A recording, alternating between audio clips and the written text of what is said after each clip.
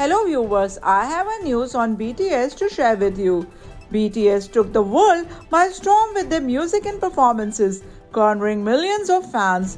After achieving much success as a group, BTS members decided to venture out on their own solo careers for a while. Since the announcement of the group hiatus, the members have been releasing solo material one by one. The latest member to release music is Suga, who is preparing to release his solo album under his solo artist name Agust D.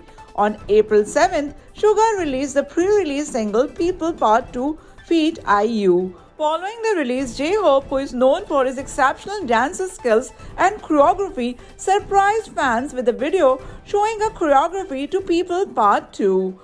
J-Hope uploaded the choreography on Instagram just hours after Suga's song release.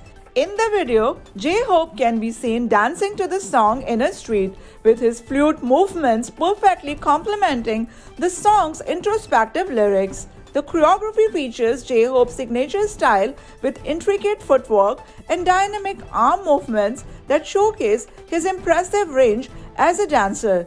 BTS is known for their teamwork and their support for one another. Suga responded to J-Hope's post by also sharing the video on his social media. J-Hope's choreography for People Part 2 Feat. IU is just one example of the bond that the members share.